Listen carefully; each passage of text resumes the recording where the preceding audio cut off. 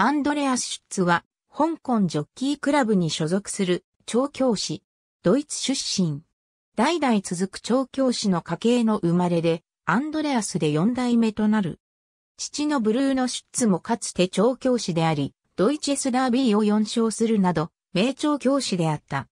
調教師になる前はドイツでアマチュアの騎手として、1984年から1987年にかけてドイツアマチュア首位騎手になるなど活躍。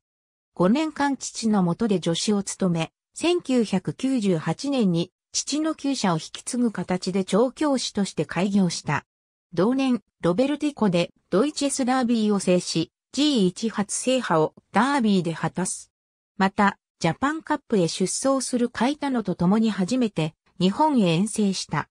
2002年から2004年にはドイチェスダービーとディアナ賞で共に3連覇を達成。